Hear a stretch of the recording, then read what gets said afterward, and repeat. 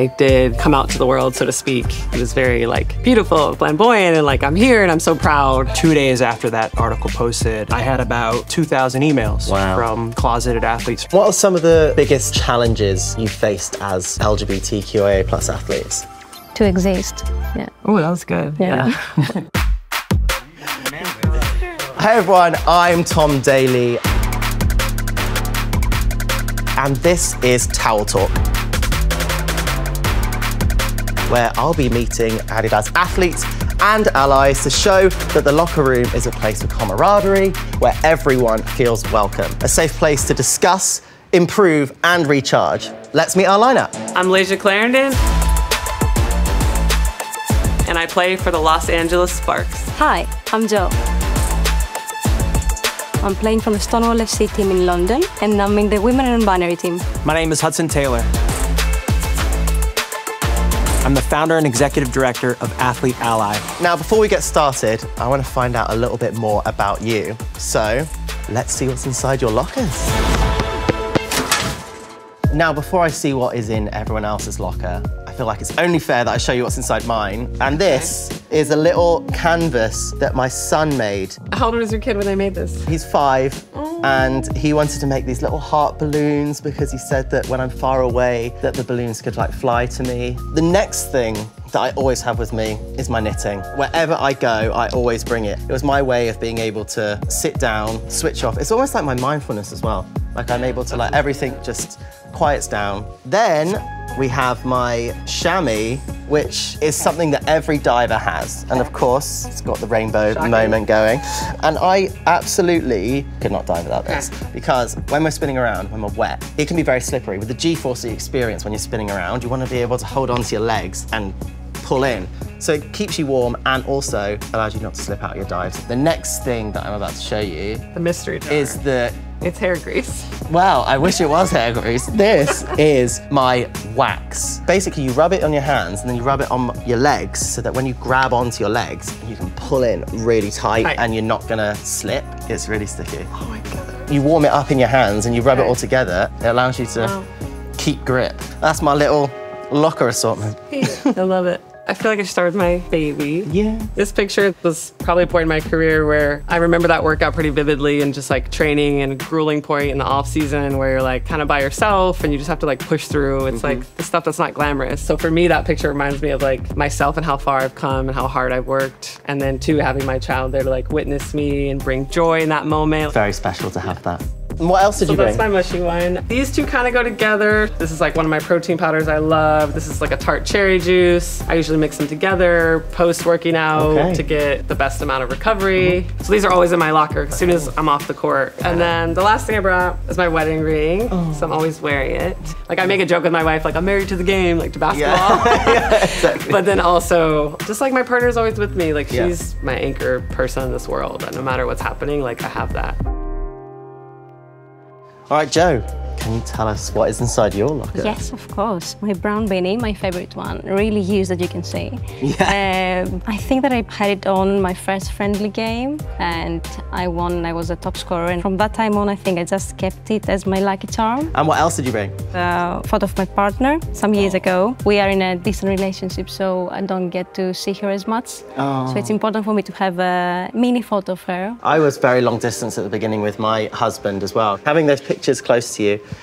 is special. It's valuable. Yeah. So what is this colourful piece of kit? Yeah. This is the Stonewall jersey. Stonewall is uh, a team that I joined three years ago. It's the first um, queer uh, team of London. So in the team we do play uh, a mixture of uh, women, non-binary and trans people. And this jersey is really valuable for all of us. What do you think wearing that jersey means to you? Like when you put it on, is it like your superhero moment? It is a superhero moment, but also I feel really proud of uh, what we give to the community. And uh, I feel really proud when I see my friends being really happy uh, of all of us being together in the team and playing football, all of us together. I mean, it's so special to hear Yes, that yeah. the the message of inclusivity when it comes to sport, because you know, sport really should be a place for everyone to feel like they they have their place. It's amazing. I'll have to come and watch uh, Yes, a match the next time I'm in London.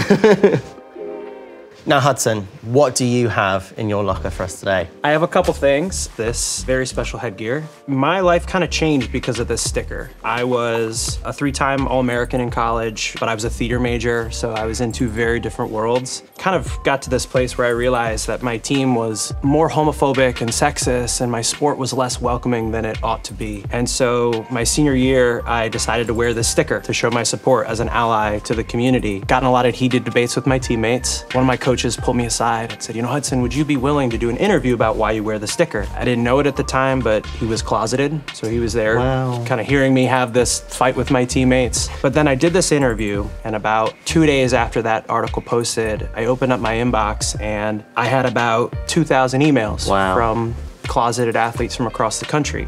Kind of just blew me away. A two second choice could make a really big impact. That was really the genesis of me wanting to start a nonprofit, Athlete Ally. It's kind of founded on this belief that there's never been a successful social justice movement for a minority group without the support of the majority. Just goes to show how important visibility is because it creates those conversations and those spaces to feel like you can talk openly about who you are. I feel like that's so special. And it's an amazing message, so thank you. And I see there's a couple of other interesting bits that you got here. so this is a novice wrestling trophy, a third place. A lot of times, what makes somebody a champion is not how they handle success, but how they handle defeat. Mm-hmm. And it's what you do with those losses that allows you to become the best version of yourself. Oh, well, as, as someone with three bronze medals, you know, third, I'm sorry, so bad. Third so bad. But but like that's the drive, right? That's like what keeps you showing up. And then I see this, and I'm quite intrigued by this. This is a deck of cards. So I started wrestling when I was five, and for me, it was always really important to have that balance. And a deck of cards was the way that I could like not get completely consumed by the anxiety of having to compete. We're gonna go freshen up, and then we'll be back in a bit.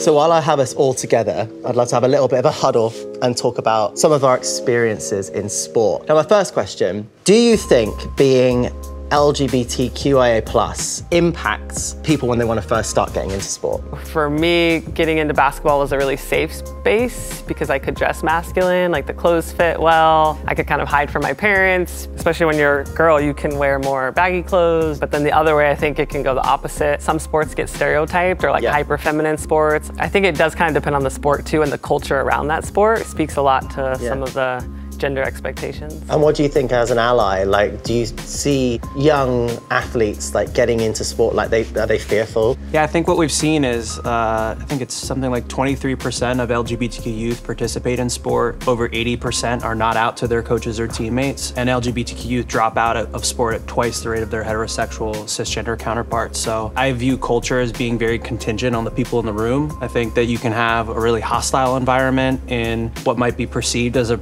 inclusive, progressive sport. But if you have the right teammates, the right captains, the right coaches who are actually showing up for each other, speaking out as allies, some of those barriers can be done away with. And what are some of the biggest challenges you faced as LGBTQIA plus athletes? to exist, Yeah. Hmm. yeah. to be visible, Yeah. I would say, yeah, and to prove all the time that you're good enough.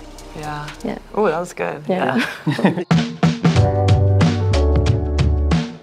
On that note, I know we had like quite a deep and you know insightful conversation there, but I've got a little bit of a game, and you know I love a, I love a bit of a pub quiz. So we've got a bit of LGBTQIA plus trivia here, right?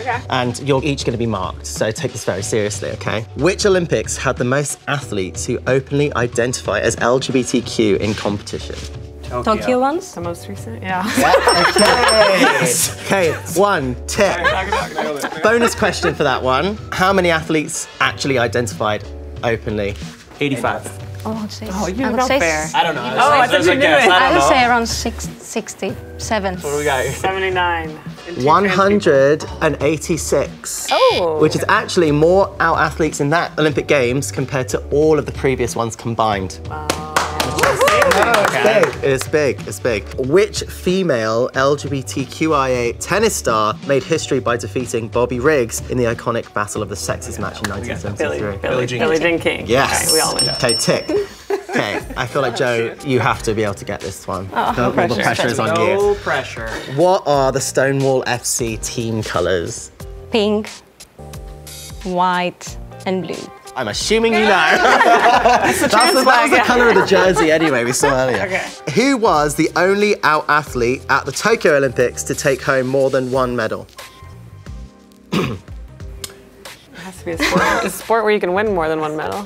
Tom Daley. Yeah! I can see in his eyes. I mean, I didn't write these questions, okay? okay, true or false? Billie Jean King founded the Women's Sport Foundation. True. True. True. Well done. I feel like we all learnt a lot. Mostly about you, but I know, I know. Anyway, I feel like me and Layshia are going to go off and have a little bit of physio now. So I'll see you back in the locker room in a bit, but Yeah. we're going to head off. Yeah. Let's go.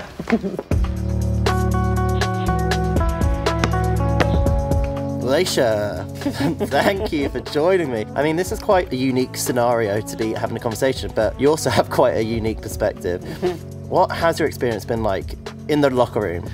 I would say generally my experience in the locker room has been pretty welcoming in the women's basketball space. I'm super grateful because I think it is one of the most like progressive spaces, one of the most like queer spaces in sports, one of the spaces with the most black women in it. And playing a decade, I've seen quite a bit of change uh, in the women's basketball space. And I would say overall, I've had a pretty great experience. I've been pretty lucky in terms of the teammates and the people I've had. I've been pretty supportive. You know, growing up, I was probably one of the very few openly gay uh, men in the sport. So it, it does feel like it, it singles you out a little bit. So you almost feel a bit awkward sometimes in the locker room scenario.